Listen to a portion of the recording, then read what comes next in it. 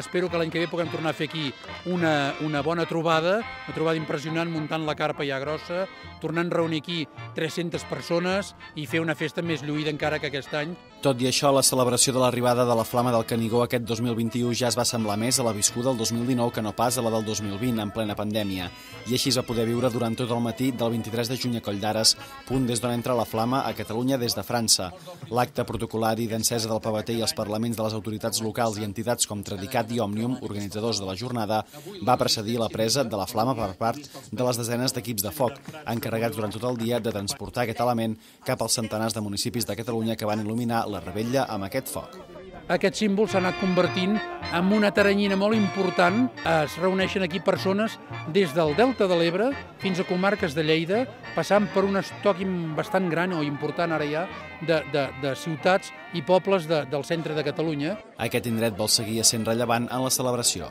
Estem molt contents que ja de fa molts anys cap aquí eh, és, és un punt, Coll d'Ares, un punt de trobada molt central per moltes, moltes poblacions del territori català. I a partir d'aquí la Flama va traslladar-se a un bon grapat de pobles i ciutats, també a la majoria del Ripollès. Els corredors de l'esportiu Ripoll la van fer arribar a tota una colla de municipis, com a Ripoll, on es va realitzar l'acte central de la jornada a la comarca. Amb el pavater encès es va dur a terme la tradicional ofrena floral a la tomba del comte Guifré, amb un homenatge també per a mossèn Joan Carles Serra. La música, els parlaments i la lectura del manifest i una actuació de dansa van completar una celebració simbòlica però alhora important per a la reafirmació nacional coincidint la data amb el context de la sortida dels presos polítics catalans de les presons que no soluciona el problema, però sí que ens satisfà que en un dia com avui ells puguin ser-hi presents també, puguin, ser puguin viure'l des de casa seva i això és un motiu més de celebració avui, encara que sabem que això no ha resolt tot el problema, però sí que ens ha donat una mica el fet de veure'ls, de veure'ls sortir junts,